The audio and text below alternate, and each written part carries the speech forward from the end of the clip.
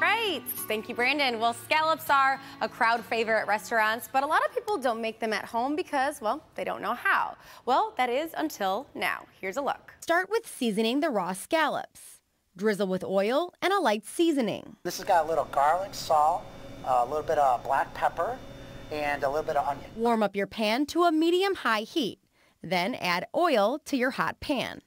Gently place the scallops on the pan, placing each one in a fair amount of oil. So that's why it's so important to make sure your pan's hot uh-huh. and your scallops are dry. Okay. Because a nice dry scallop is going to go ahead and brown a lot better than if there's a lot of moisture, it's going to steam.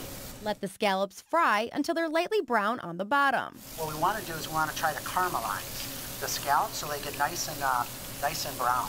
Do the same for the other side. You may need to add a little bit more oil to the pan to make sure they're able to caramelize. Once each side is golden brown, dress it up.